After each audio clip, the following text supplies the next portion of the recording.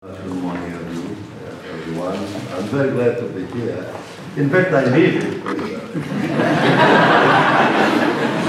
My address is just 500 meters away from here. It is true that sometimes I travel a lot, but I'm so glad that my friends are organizing this conference, and uh, it's a collaboration of School of Letters and CES Center, Center, to which all the, the organizers also belong and uh, it is a great pleasure to be here with you. Well, I chose a, a, topic that probably is a bit controversial, I would say, but uh, I think that in order to analyze the social movements and resistance today in the world, and most particularly in Latin America, I think we need to capture the zeitgeist of our time. Uh, and as you know, uh, the zeitgeist is usually composed of apparently discrete uh, elements, um, factors that all of a sudden constitute a new gestalt, uh, constitute a configuration of power and resistance. What is the zeitgeist a long time so that we can understand the challenges ahead, both in political and in theoretical terms? Which is, after all, your concern, as it is mine. So I'm going to start by, uh, in order to identify this uh, zeitgeist in a very arbitrary way, I will choose uh, some factors. They are just snapshots. I'm going to give you five or six snapshots, uh, snapshots that, in a sense, for me, tell me something about uh, the zeitgeist of our time, and I hope uh, do the same with first snapshot. One of the 2017, so they have recent factors, uh, issues of the Third World Quarterly, many of you have seen this, uh, which is a journal that is dedicated to post-colonial problems and challenges. Uh, an article was published by Bruce Gilley, a professor at the Department of Political Science in Portland State University, entitled The Case for Colonialism. And the title uh, of the article says almost everything, but uh, I read the abstract. The abstract reads as follows. For the last 100 years, Western colonialism has had a bad name. It is high time to question this orthodoxy. Western colonialism was, uh, as a general rule, both objectively beneficial and subjectively legitimate in most of the places where it was found, using realistic measures of those concerns. The countries that embraced that colonial inheritance, by and large, did better than those that spurned it. Anti-colonial ideology imposed grave harms on the subject's peoples and continues to thwart sustained development, development and a fruitful encounter with modernity in many places. Colonialism can be recovered by weak and fragile states today in three ways. By reclaiming colonial modes of governance, by recolonizing some areas, by creating new Western colonies from the scratch. Well, published in uh, a Respect Journal, the World Quarterly, with which I collaborated in the past. You can imagine the, the uproar that this article created. 15 members of the editorial board resigned. Um, but it shows, in fact, the miseries of the peer reviewing system which we have today, and ways in which, very often, the editors can twist uh, the procedures also of the peer review article. As a colleague of ours from the London School of Economics wrote, right after this article, uh, is that the case of colonialism is a travesty, uh, the academic equivalent of a Trump tweet uh, clicked by footnotes. Well, here it is. First snapshot. Second snapshot. Last Thursday, the also very respected Wall Street Journal published a very large report titled The Demand for American Sperm is Skyrocketing in Brazil. Over the past seven years, and it's part of the report, over the past seven years, human salmon imports from the US to Brazil have surged as more rich single women and lesbian couples select donors whose online profiles suggest that they will yield light complexion and preferably blue-eyed children. Brazil is one of the fastest growing markets for imported salmon in recent years, uh, said Michael Hodges, the laboratory director of the Virginia-based Fairfax uh, Cryobank, a large distributor of the, the biggest exporter to Brazil. More than 500 tubes of frozen salmon frozen in liquid nitrogen, nitrogen arrived in Brazil airports last year, up from 16 in 2011. US Sperm Bank directors said preferences like those of Brazilian purchasers hold across their global market. The vast majority of what uh, we have and what we sell are the Caucasian, blonde-haired and blue-eyed daughters. In a racial and then the, the journalist comments uh, this, the preference for white donors reflects a persistent preoccupation with race in a country where social class and skin color uh, correlate with glaring accuracy. More than 50% of the Brazilians are black and mixed race, a legacy of Brazil having imported more than 10 times as many African slaves than US, and it was the last Western country to ban slavery in 1888. The descendants of white colonizers and immigrants, many of whom were lured into Brazil in the late 19th and 20th centuries when the ruling elite explicitly sought to whiten the population. That was uh, uh, eugenics of 1918 she's referring to control most of the country's political power and wealth. In such a racially divided society, having fair-skinned offspring is often viewed as a way to provide a child with better prospects for higher salary and fairer treatment by police. Third snapshot. The Atlas Network that many of you may have heard of which is a large aggregation of several highly conservative right-wing, extreme right-wing, some of the think tanks throughout Latin America and many other continents. Funded is the, considered the soft power of the State Department, funded by the State Department, by the National Endowment for Democracy, by the Koch brothers, and by many others, has been very active in Latin America since uh, the 90s, and they have been funded, uh, funding not just foundations. With the neoliberal ideologies, uh, uh, as I'll explain in a moment, but also trying to fund the groups that have been uh, uh, mobilizing against the leftist governments in Latin America. So there is a list of groups that they have funded, in Brazil is uh, Movimento Brasil Livre, the Free Brazil movement, that is funded by the Koch brothers. Uh, the leader has been the Liberty Academy of Koch brothers, and they are everywhere in Latin America, wherever there are uh, marches, protests against the leftist government. And uh, uh, they have been uh, supporting these groups in Venezuela. in Chile, they funded partly this, uh, Sebastian Piñera's election, uh, and also Mauricio Macri uh, Foundation by the Atlas Network, which is led now by an Argentinian, in fact it's uh, Fundación Pensar, uh, was merged into a political party, which was Mauricio Macri political party that led to his election.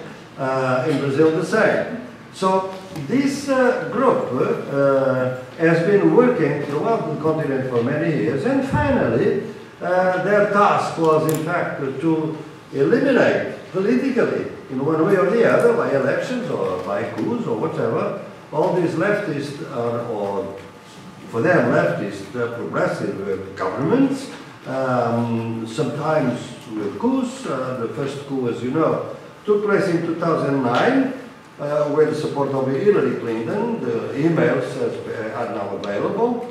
Uh, and the Fundación Eléutera, in Honduras, that's a very influential uh, foundation now in Brazil, so in, in Honduras. So the idea is that the, according to the Intercept, which some of you know is, was funded by, is created by uh, Glenn Greenwald, and uh, a very respected journalist, US uh, journalist.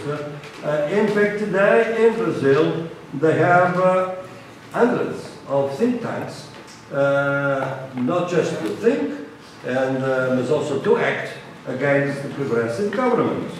And Helio Beltrão, who, who is the leader of the Institute of Mises, Ludwig von Mises, you know who he is, uh, libertarian philosopher, said recently in an interview, and it's published, uh, the following. It is like a soccer team.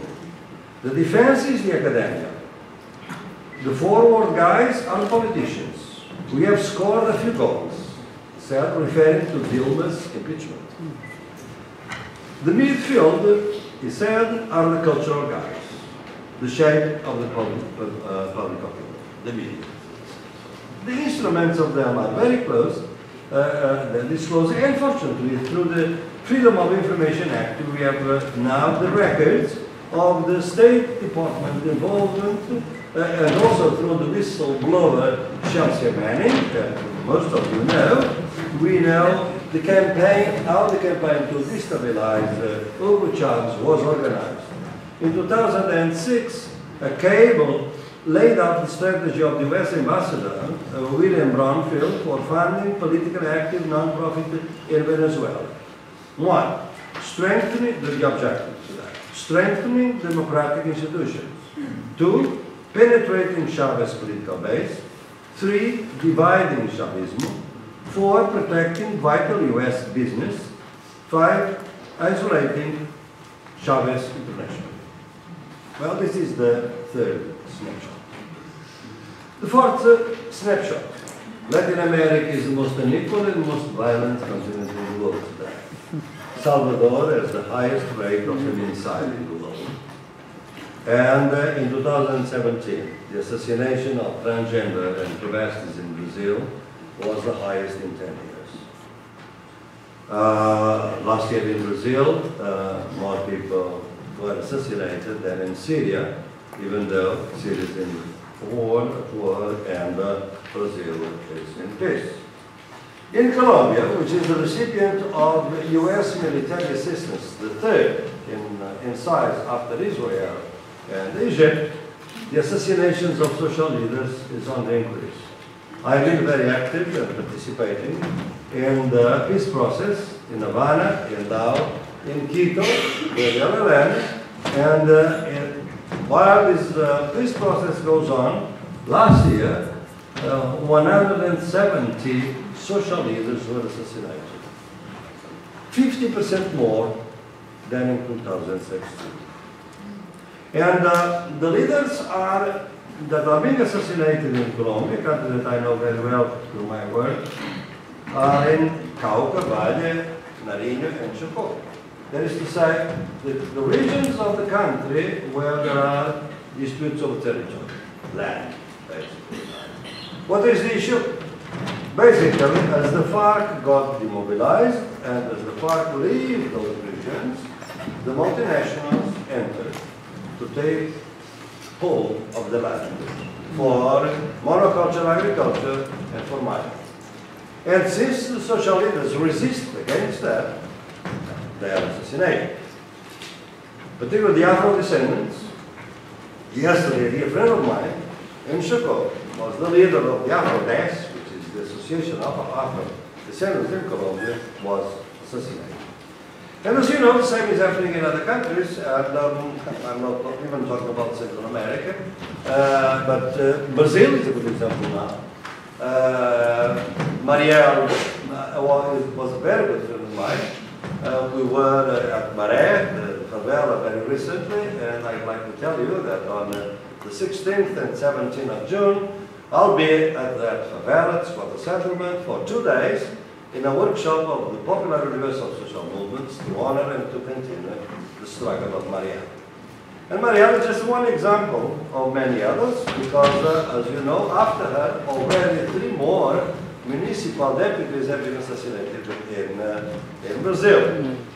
what it shows is a pattern very closely similar to the one in Colombia.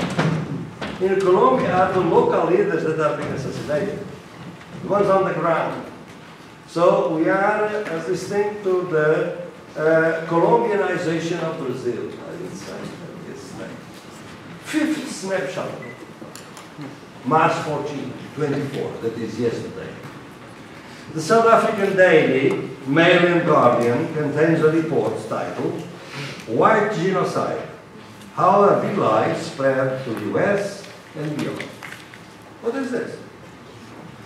It's the news that there have been, fake news basically, that have been spread uh, throughout the US uh, and then Africa and then Australia, that the whites are the victims of genocide in South Africa, and therefore they need uh, help from other countries.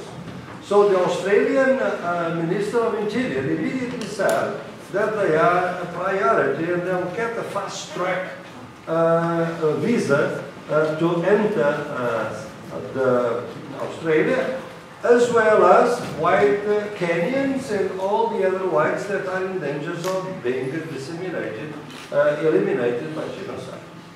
This is fake news. There is no increase in deaths of white people in South Africa. We know now how it was distributed. It was Breitbart in the United States, a coalition between Breitbart, I know that most of you know who they are, uh, Stephen Bannon, uh, which is associated with Suidlanders, which is this extreme rights group in South Africa. And they decided to create this approach about white genocide.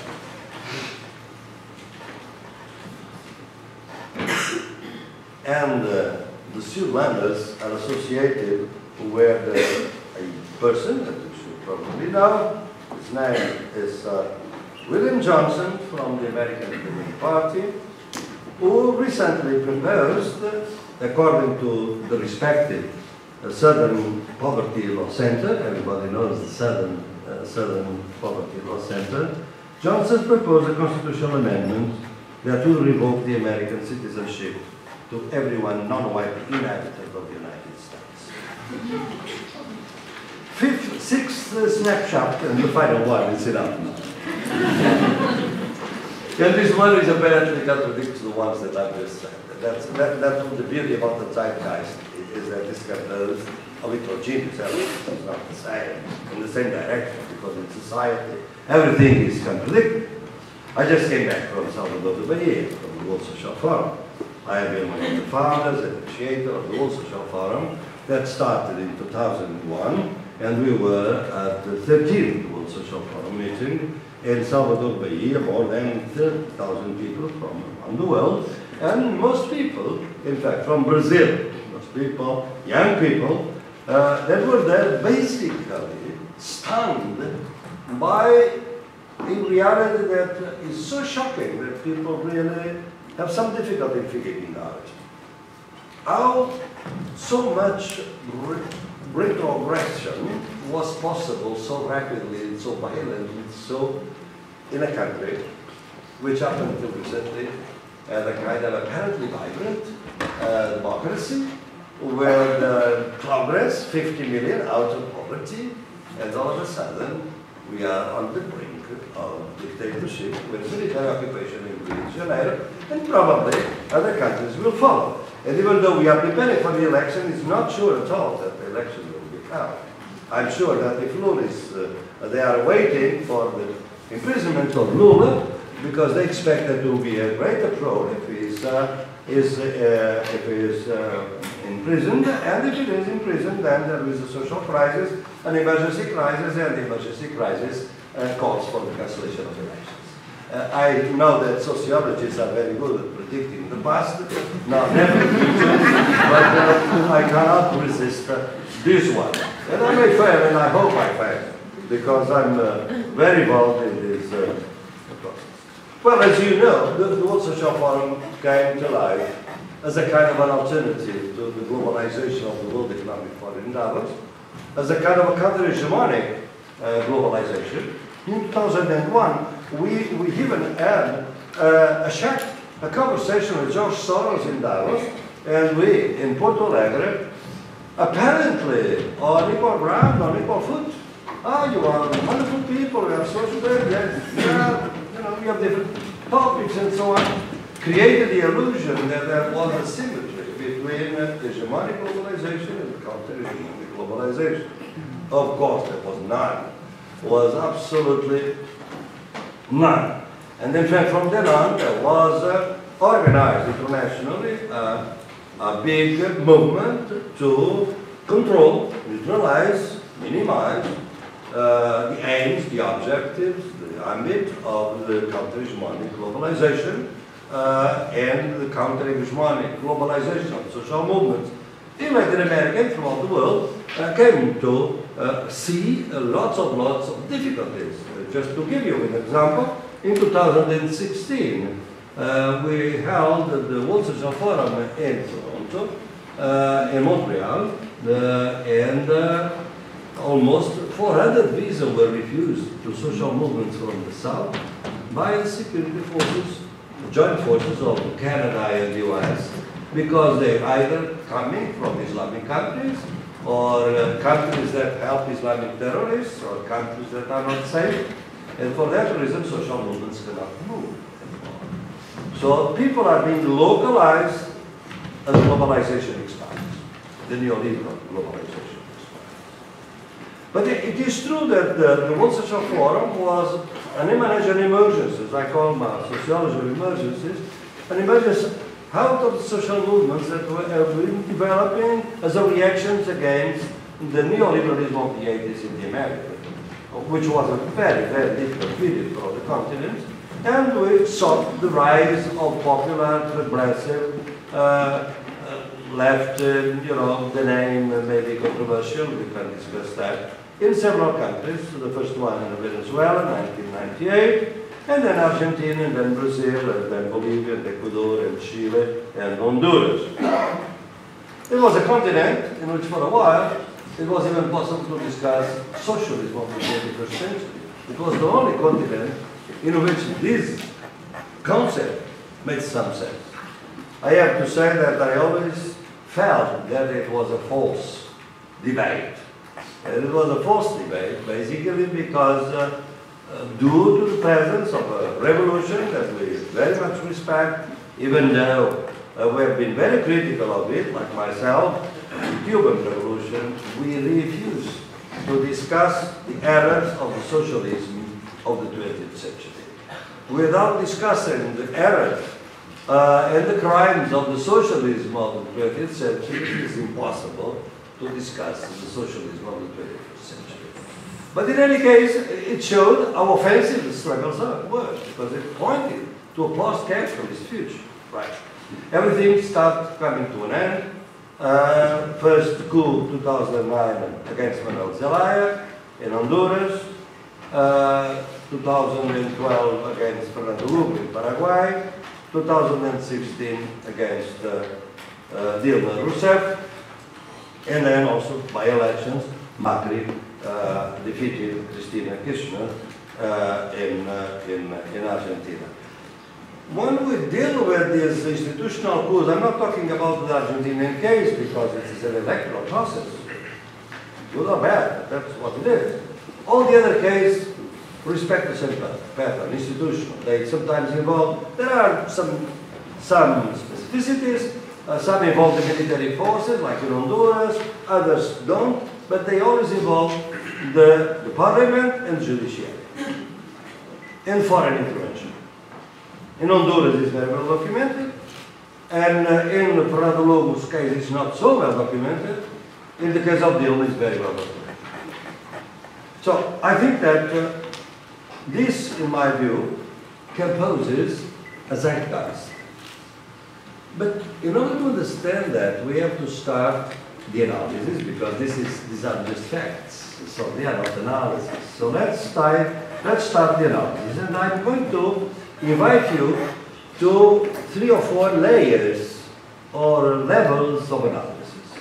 The first level of analysis uh, respects the political processes that took place in, uh, in, uh, in, uh, in Latin America and which were in fact a product of the strong popular mobilization with social movements uh, during the final part of the 80s. The MST, the movement of Lend was created in 1985, and therefore there was this strength, mobilization, and so on. Well, we know that in 2010, the first decade of, uh, of the, the, millennium was a brilliant decade because of, of all this uh, redistribution of wealth. Basically the same model, not a very radical model. In fact, the model had been suggested by the World Bank all along. They called compensatory policies, not the social rights European style or social democracy style, but compensatory policies uh, Fome Zero and uh, uh, family bonus and so on throughout the continent. But the fact is that 50 million of people left poverty in, in Brazil, and the same in, Ecuador, and the same in Bolivia. A middle class was created. And now we have to evaluate why, why it was possible and why this in 2010 the crisis started to emerge. But I think that at this stage, for us sociologists and for you, I'm sure, uh, in such an inter interdependent world, it's more and more difficult to distinguish between internal factors and external factors. Because both internal factors and external factors are so intermingled one with the other that it's very difficult to tell them apart. But in any case, for heuristic reasons, I would say that there were some internal factors and also external factors internal uh, that led to this. Basically, this is the model of development which we came to call neo-extractivism because it was based on unprecedented exploitation of natural resources, was pushed by the development of China. The double-digit uh, development of China that asked for was hunger, for hungry for every kind of natural resources and therefore was unprecedented the exploitation of natural resources. If you notice carefully, this is a continuation with the colonial. Because the colonial was really based on exploitation of natural resources, not on deindustrialization.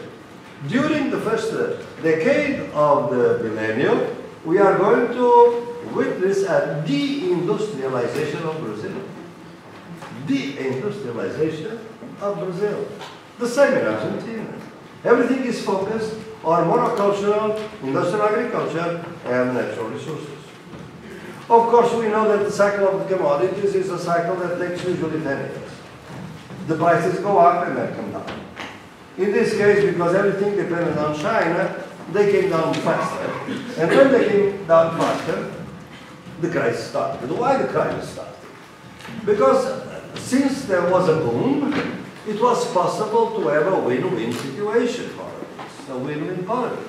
The rich would become richer and richer, and the poor a bit less poor. And therefore there was no fiscal reform, no political reform, no media reform, nothing. But once the crisis came, it was impossible to keep the social distribution without taking some wealth from the rich and giving it to the poor.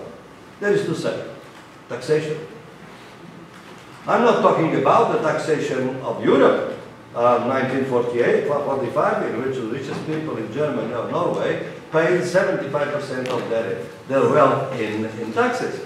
Not talking about it. But 30, 40, whatever, they are paying less than 10% now. So it was not possible. Because since in the meantime, the neoliberalism hegemony was so prevalent in society, through the media, through the, these think tanks, that to tax the rich, it was completely out of question, anathema. Because these countries had no other alternative than to resort to World Bank, to the IMF. But if you resort to IMF, you have to respect the conditionalities, and the conditionalities is no taxes on the rich.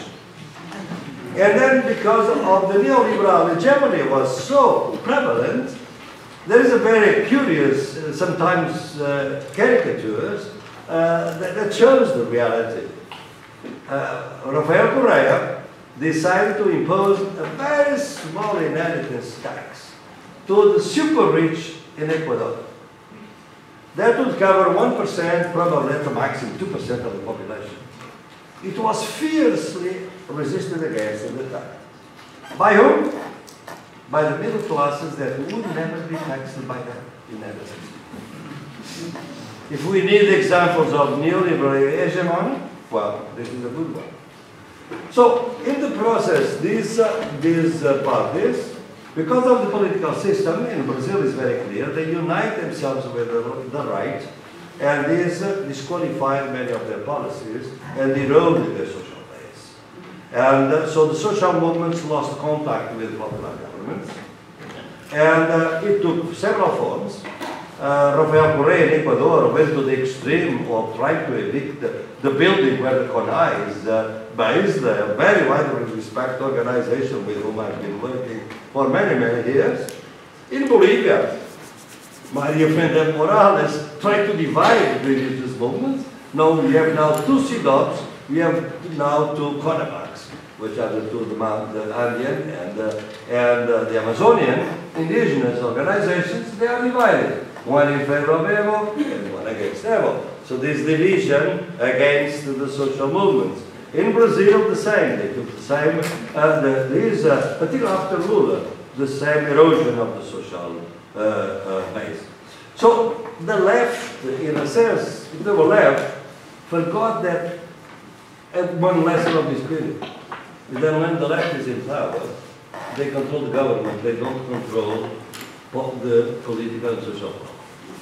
When the right is in power, they control both the government and the social and economic power. This asymmetry is absolutely telling to explain why corruption in, in Brazil or elsewhere is not the same thing if committed by the left or by the right. Double standard. But we Europeans should be very familiar with that. The people that have studied the Weimar uh, courts after, during the period of 1918, 1921, they know the double standards of the courts in Weimar where the, the violence, in fact, violence, armed struggle from the extreme right was coming and from the Spartacus, from Rosa Luxemburg and from uh. Very harsh sentences against the extreme left and sometimes very lenient and even pardon right violence. Double standards, the same. Of course, is occurring. It's not new, but um, we should know that they can always different forms also. Well, in, in, in, in, result, I will say that a missed opportunity is what, as I read this, this period, is a missed opportunity. Is in several, in several instances, uh, because also during the first millennium, the first decade, America and US influence in the continent, which has historically so prevalent, as we all know, uh, the list of interventions, imperial interventions, are such that it is difficult to not to notice them. During the first decade, the US was completely focused on the Middle East. They almost forgot about that. They returned in 2009 where the, the coup against Venezuela, symbolically speaking. That's the first presence. The second presence are the, the 13 military bases in Colombia, in Colombia to compensate for the closing of the Manta uh, base in, uh, in Ecuador that was closed down by Correa. So I think that that opportunity was lost because the reforms that could be, have taken place, uh, they didn't take place. Political reform, the media reform.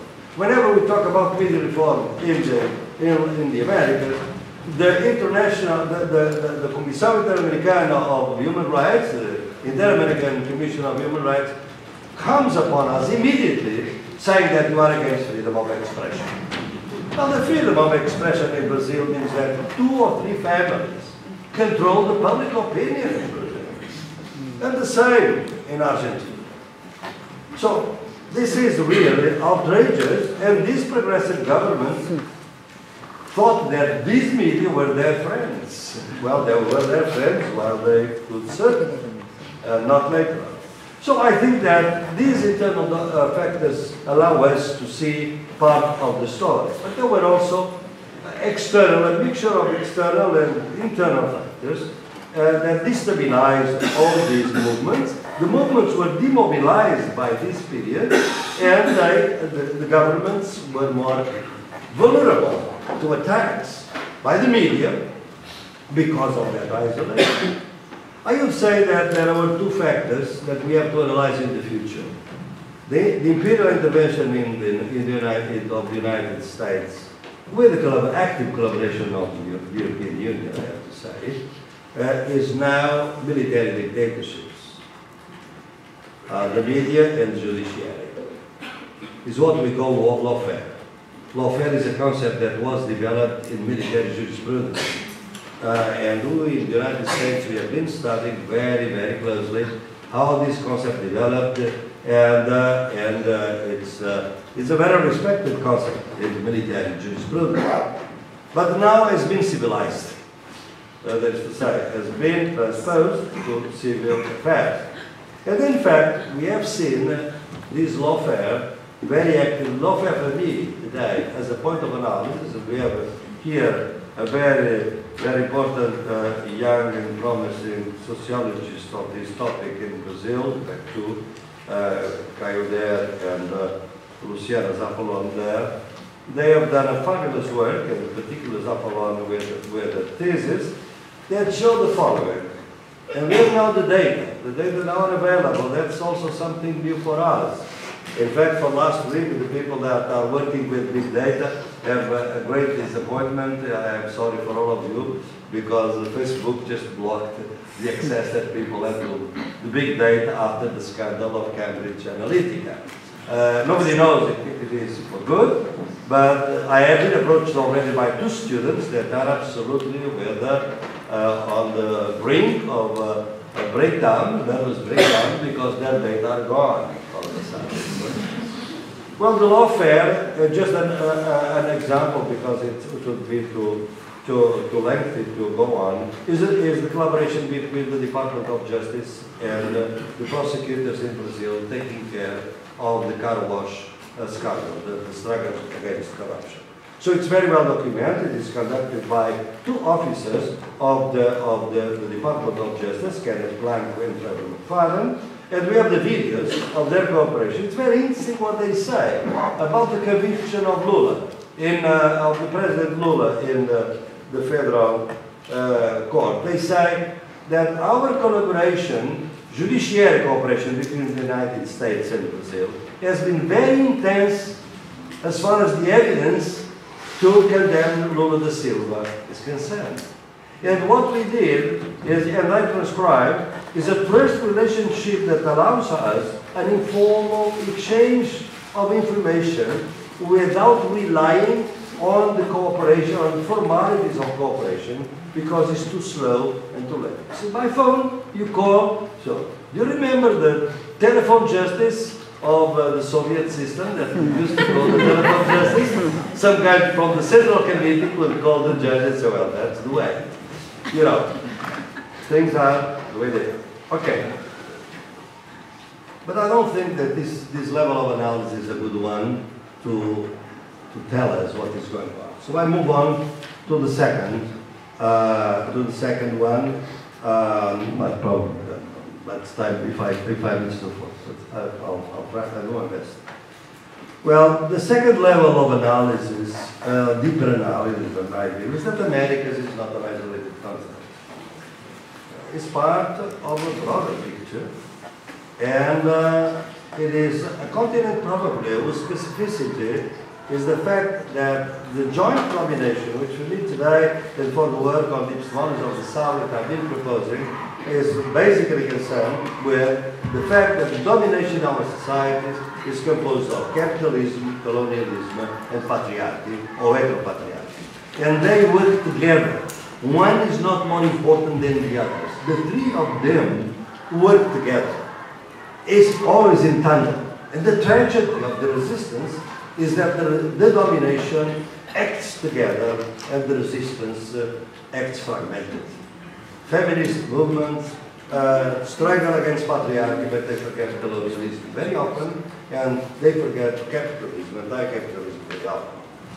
Anti-racial movements fight against racism and colonialism, and sometimes they forget sexism and they forget anti-capitalism.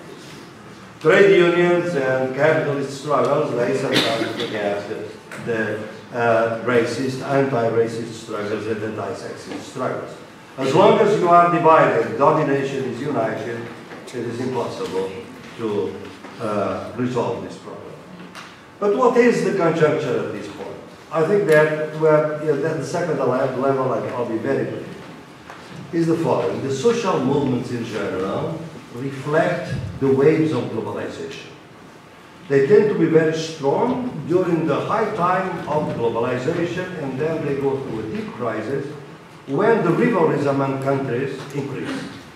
So we have three, according to me and many others, we have three waves of globalization in modern capitalism. The first one takes place between 1860 and 1914. And all the globalizations, I should add, is based on a new technological innovation. In this case, the steam engine, the telegraph, and electricity, 1860, 1914. When this uh, globalization enters in crisis, the rivalry among countries develops and wars may start. The two wars are the product of that. The second, um, and we have of course a counter-hegemonic globalization there, which is the workers' international. The second wave, or second globalization, takes place between 1944 and 1971. Here we have jet planes, television, communication satellites, container traffic, new innovations, which are very important to move along products and people.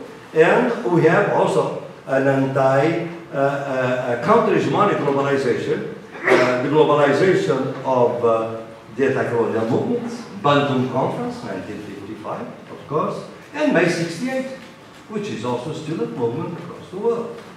And then we have, uh, while in the first globalization, Great Britain was the dominant power, in the second wave was the United States, and was not colonialism but Cold War. In the third wave, started in 1989, and we are just entering in the deep crisis of this third wave. Uh, the innovations with the microprocessor, the personal computer, internet, and so on. Well, we are at the crisis of this one. And this, what was the new of this, is that the dominant power was the US together with the European Union and the rise of China. That's the new, the rise of China. That's the new form of the imperial structure of the dominant power in the world. Now we are in a deep crisis, and the deep the crises are a tail end of this uh, mobilization. So the movements are on the defensive because the rivalries among countries are much more violent now. Uh, example, the trade wars by, by, by Trump. What is this? The rivalry is, uh, the Middle East is the playfield now of, the, of this rivalry among the different, uh, different dominant powers. Dilma Rousseff in Brazil had to be neutralized because Dilma Rousseff was a key element of the BRICS, which were the alternative to the World Bank and to the dollar as reserve, international reserve currency, uh, together with Russia, China, South Africa, and India. And it was probably the most democratic country and most vulnerable country. And that's why it had to be neutralized. And now all the riches of Brazil are on sale, and uh, they are they will sell in the most. Uh, I don't even have words to qualify the way in which they were given away the riches of the oil, uh, deep uh, sea oil of Brazil different companies, U.S. Uh, companies, of course. So we are in a trade wars. We are going to have more wars, but now the enemy is China. So the, the wars probably will move to Asia. That's why the attack to North Korea. Or North Korea is not important for anything. It's a way of embarrassing China. Because the, we have to, you cannot forget that of the 20 trillions of debt of the United States, 6 trillion are, are in the hands of the Chinese. So they cannot attack Chinese directly. They have to do otherwise. Like Russia and, and the past. So Maybe another wave of globalization is coming up. Everybody thinks that this would be a wave controlled by automation. Automation would be the, uh, the Amazon model of production, would be probably the, the one in this. But I think that if you want to understand the challenges, I think that we have to move to an even deeper level of analysis. And that's what I focus a little bit last part of my presentation. I think that uh, if we analyze closely, I think that we have a political challenge and an epistemological challenge. The political challenges could be read as follows. Is the idea, which in a sense I also mentioned to you, that is difficult for uh, the critical thinking, uh, particularly West Eurocentric critical thinking. We always uh, were trained all of us that uh, the ones that share the critical thinking from the Frankfurt School to any other school, or Marxist school, non-Marxist school, that class is more important than race and sex as forms of domination. So as I said, they work together. So for me, it is very clear that at the, at a crisis of globalization, which is always a crisis of the rate of profit of capital, that's why we need a new innovation, will be automation probably, no? At the, at the crisis of the profitability, capitalism becomes more savage, more anti-democratic, incompatible with democracy. And that's what we are facing now, more and more. The two global factors financial capital and internet, they don't know democracy in terms. I mean, they don't know frontier, they don't, they don't know borders. Internet is a double edge, as you can see today. And global finance capital has no loyalty whatsoever with the people because it's the markets that count, nothing else. And we have seen that in the, the way in which the Greek crisis was conducted here in Europe. You don't have to far away to travel far away to Tanzania or to Indonesia or to Mexico to see the disgrace of the austerity measures applied in this way. So I think that the social movements, and that's our struggle in the World Social Forum, has been uh, not a great success of united, uniting these different movements. It is true that now we have many, many movements in which articulation is already there. I spend all my Fridays with fabulous black women. They are fishers and uh, in the fisheries of the Ilha da which is being destroyed by the pollution of the industries. And these brave women, because they are black, so they are rubbish, they are, of course, non-beings, so to say, and they are being victimized by the industrialization of Brazil, but they are struggling. They know that their struggle is not a struggle for identity, uh, uh, feminist identity, it's for political economy. It's to save the Manglas, it's to save their ways of life, their life. So it's politics, it's political economy, and it's sex, and it's race because they are black. So everything is, of course, for them uh, very clearly uh, connected.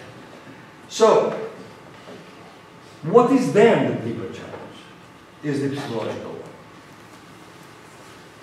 We, when I say we, most of us social scientists, literary people, humanities, in the global north or working in the south with global ideas are completely capable of understanding what's going on. And I speak for myself. For the effort I have to make to try to see finally something. I start by analyzing, of course, as anyone, starting with Charles Tilly, that I knew very well, and all the Colombian uh, model of the social movements literature. Look at the different concepts, resource mobilization, political process, contentious politics. Everything unfolded in the US context. Everything absolutely inadequate to understand social movement in the Americas. We don't capture the reality we don't capture the intensity of the struggle with these concepts. We need other concepts. For several reasons. First reason, the dichotomies upon which these concepts are based. There are three uh, dichotomies, we are absolutely deleterious for all the, and detrimental to the analysis in that. Individual community. If you look at the paradigm, it's very clear that this dichotomy, as any other dichotomy in uh, the North Theocentric knowledge, always hides a, an asymmetry. Individual first, community second, always. Well, with this dichotomy, we cannot understand what is going on. Where the Afro descendants, where the indigenous, where the peasants, where the women, throughout the world, and most particularly in the case of the Americas. Because very often, community comes first and the individual comes last. And this creates tension within the feminist movement, within the black movement. All of us know very well, those that work with the social movements have no romantic idea about them, and we know these tensions. They are sometimes productive, sometimes they are destructive. But this dichotomy, these concepts, bring within a dichotomy that is a false dichotomy because it hides themselves. The second one, society nature. All of our analysis is based on this dichotomy, and of course society, first nature, is the Cartesian nature, not the Spinozian nature, natura naturans, but natura naturata, which is Cartesian too. That is to say, nature as a, natural resources completely, freely, and unconditional at our disposal. This is as true of liberalism as it is true of Marxism. This does not capture, cannot allow us to understand the struggles of these women, of these men, of these groups, of these communities throughout the continent. Because for them, nature is society and society is nature. Society, nature does not belong to us, we belong to nature.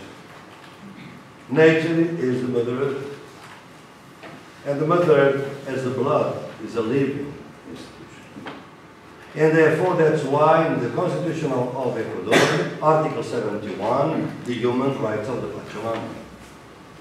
Only in this continent we could have that. It's not being respected. Who is respecting this idea? Because this idea is what I call sociology of emergencies. They are emerging new ideas that our concepts don't capture, but the social struggle forces them into a political analysis. Have you heard, probably of New Zealand, that recently decided to grant human rights to a sacred river of the indigenous people in New Zealand? And a few months later, to a mountain, which is also sacred for indigenous people? Do you know how the Prime Minister, a woman from New Zealand, responded to the opposition when the opposition criticized that that, that uh, rivers are not humans, they don't have a head, they don't have limbs, uh, or arms, they don't have legs, they don't they don't have sex. How can they have human rights? The Prime Minister answered, what about the business companies, the corporations? Do they have sex? I think it was a devastating argument, quite frankly. A little bit rhetorical, but it was very effective. So, New Zealand, out of the will the, of the, the white population, the settlers population of New Zealand, no, the struggle of Maori. For a long, long time. They learned that. So I think that this second dichotomy is done with us in to understand. But there is a third one that incapacitates us, is what I call an epistemological blindness. Incapacitates us to see things. Because this requires a deep seeing, and we are unable of doing deep seeing, is the distinction between immanent and transcendent. We come from secularized societies, and for us the transcendent is always the religious or the sacred. Well, for indigenous people, the immanent is not religious, not even sacred, because the mountain may be sacred, the river may be sacred, of course. The immanent, the transcendent is spirituality. After 1648, I think the Europeans and the Westerns became incapacitated to understand spirituality. And I have to say that in my field research, I feel absolutely incapable. I have to recognize that.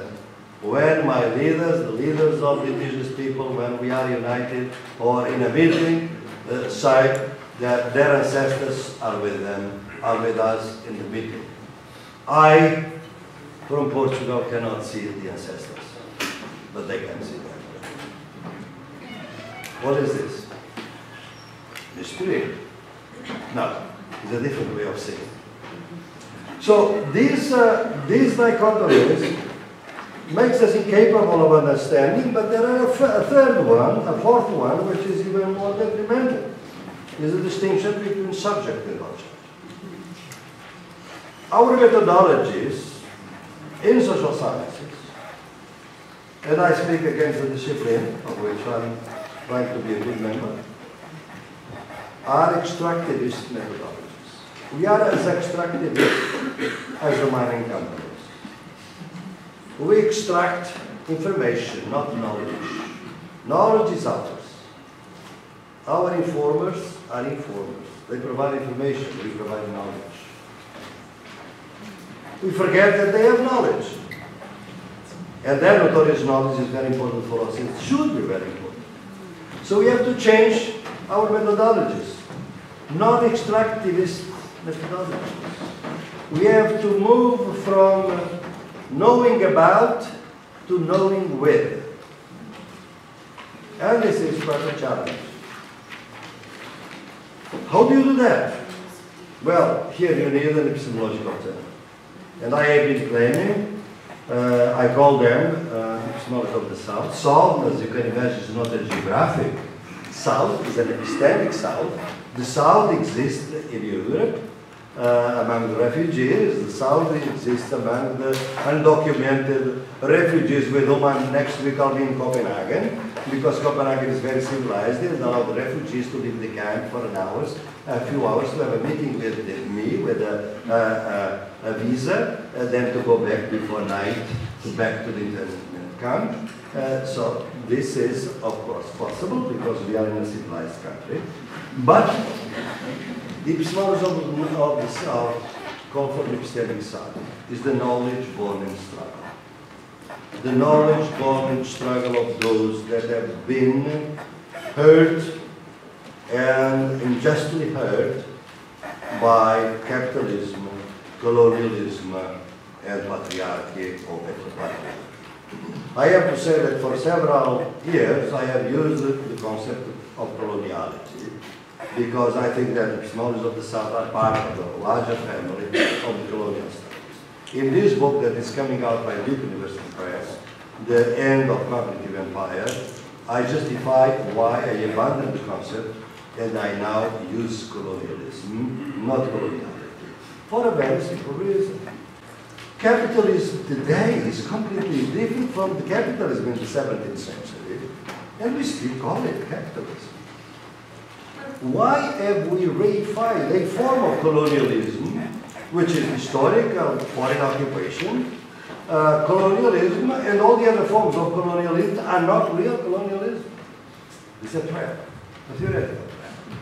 So I think that if we do that, we develop something that this model of, of social movement do not allow us to understand. And that's the final. Is that there are two types of exclusion in our society. What I call the abyssal exclusion and the, non-abyssal exclusion. The non-abyssal exclusion is the exclusion that occurs in the metropolitan forms of sociability in which people are equal, they have rights. Of course, a woman is not is discriminated against because for the same work she doesn't have the same pay, and it is excluded. That's not abyssally excluded. But on the colonial sociability, there are abyssal exclusions because people there are non-beings. They live in zones of sacrifice like these black women in the Isla of the island of Maré.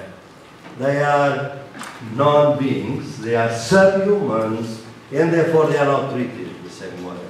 And many people in our world, in Europe, traverse, there is a, some of you that are familiar with my work, I, I, I, I describe as a abyssal line that divides metropolitan sociability for colonial sociability in our cities. This woman that works in a restaurant in Paris, of course, is excluded because she has rights, uh, she has a contract, but for the same work, not the same pay. Non-abyssal exclusion. But when this woman goes home, can be victim of a gang rape, can be assassinated by the partner, can be victim of feminicide. When that occurs, she crosses this line to the zone of non-being, to the zone of subhumanity. There she is not truly a human. It's the same with refugees. It's the same with undocumented. It's the same with black lives that don't matter. It's the same with all of them. So if you do that, then you can start thinking that we should call, and uh, of course that would be a very complex task, we could call for other concepts. In my case, there are six or seven that we have been producing collectively in my, the group that it says uh, has been shared by so many, the sociology of absence, sociology of emergences, the ecology of knowledges. We think today that science is important, but it is not the only rigorous knowledge. We need ecologists among different knowledge. Because, and we have today very many occasions in which this notorious knowledge, this traditional knowledge is so prevalent. As I usually tell to my students, if I want to go to the moon, I need scientific knowledge. If I want to know the biodiversity of Amazonia, I need indigenous knowledge. So different knowledges for different purposes. And therefore, but we in our places, uh, because we are not capable of the cultural translation, which is another key concept for me, I think that it is difficult for us to understand why it is this. It is difficult because it will take generations. I know that there are lots of young people here, uh, and uh, I think that uh, probably they are more hopeful than the ones that are my age or, or, or younger, but not so young, so much younger, because this will involve decolonizing our universities and decolonizing our research institutions. But that, that would be another talk. Thank you.